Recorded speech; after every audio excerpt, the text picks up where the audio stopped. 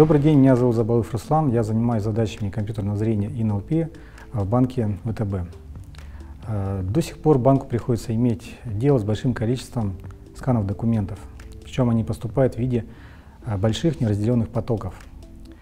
Э, для удобства работы с ними необходимо эти потоки разделить на отдельные документы, потом классифицировать, извлечь какую-то полезную информацию и складировать систему документа оборота.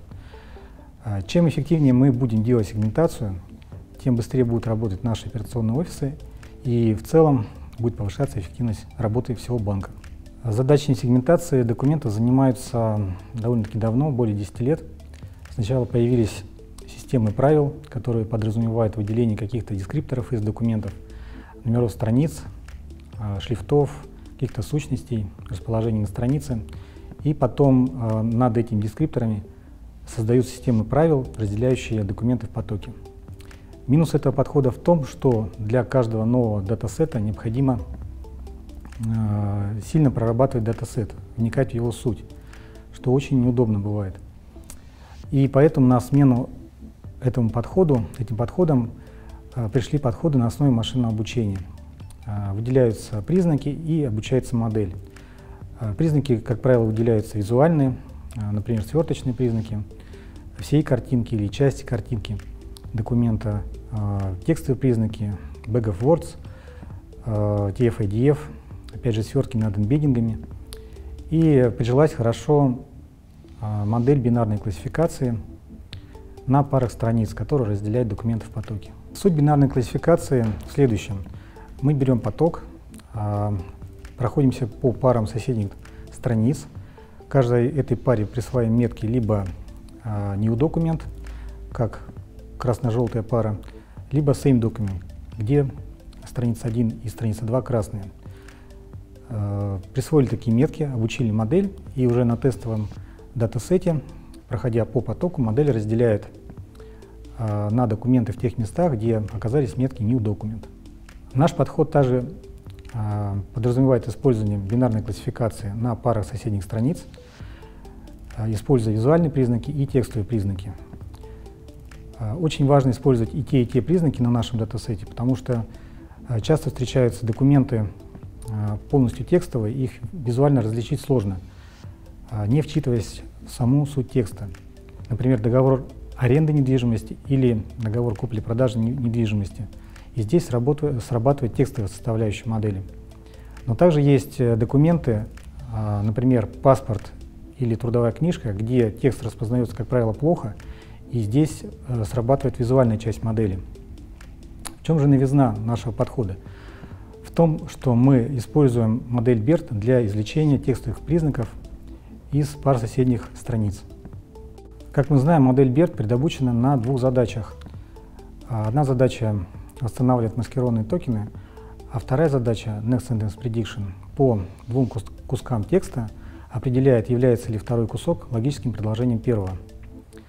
А, мы предположили, что здесь модель BERT будет полезна, поскольку у нас а, в паре соседних страниц в документе как раз а, текст второй страницы, по идее, должен являться предложением, логическим предложением текста первой страницы.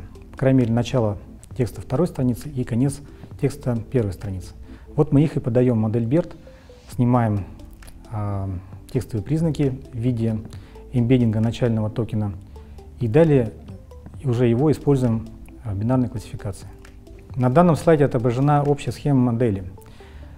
Из каждой страницы выделяются визуальные эмбеддинги с помощью нейросети ResNet 3.4 и с помощью модели BERT, а вернее RuBERT, предобученный на широком корпусе русскоязычных текстов, мы э, извлекаем текстовый эмбеддинг. Э, текстовый эмбеддинг начального токена. Это все объединяем в вектора длины 1792 и на них обучаем мультилейер перцептрон нашей бинарной классификации. Обучение проводим на нашем датасете. А, это документы, которые поступают от компаний для получения кредитов, одностраничные и многостраничные документы, примерно из 300 разных категорий. Мы выделили 10 базовых категорий и остальные документы отправили в категорию «Иное». Потоки мы генерируем таким образом, чтобы в потоке было не менее одного документа из базовой категории и немного документов из категории «Иное».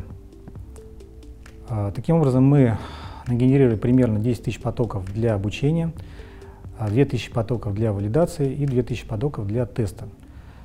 А, пар, соседних пар потоков получилось на тесте примерно 26 тысяч с пометкой New Document и с пометкой Same Document около 16 тысяч. И теперь о результатах. В качестве baseline мы взяли нейросеть ResNet 3.4 и Руберт в том виде, в котором они вышли от авторов. А, и мы получили с помощью них 96% точности и даже больше. А, в качестве основной модели мы взяли а, ResNet в изначальном виде. Руберт дообучили на задачах MLM и NSP на нашем датасете, и качество еще немножко улучшилось, до 98%. Считаем, что наши предположения об использовании Берта были правильные. А что еще можно сделать для развития задач сегментации? А, ну, во-первых, нужен большой датасет, а, состоящий из большого количества многостраничных документов, одностраничных или многостраничных документов, и он обязательно должен быть общедоступным, открытым, чтобы различные исследователи могли сравнивать свои оценки на нем. Также можно, а, следуя, следуя а, идеям авторов модели Роберта, а, попробовать убрать из обучения задачу НСП, оставить только MLM, и, возможно, здесь будет какой-то прогресс. Потому что у авторов Роберта только на предобучении с MLM улучшались оценки даже на задачах типа вопрос-ответ. А, Еще можно дообучать э, нейросеть ResNet 3.4 или брать какую-нибудь другую, дообучать на нашем датасете или более широком датасете. А, у некоторых моих предшественников а, получалось улучшение с помощью такого дообучения. Ну и также можно добавлять layout информацию, попробовать добавлять layout информацию. Например, у авторов модели Layout LM, которые занимались задачей классификации одностраничных документов, это получилось. Они каждому э, распознанному слову добавляли э, боксы вернее, координаты этих боксов и в виде positional embeddings отправляли это все в BERT.